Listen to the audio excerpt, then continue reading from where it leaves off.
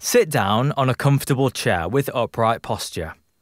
Hold a dowel rod in front of you and lift it above your head or as far as feels comfortable. Move the rod gently from side to side, within your comfortable range. This exercise helps improve mobility of the shoulder in its later stages of rehabilitation. If you don't have a dowel rod, you can use a broomstick or golf club.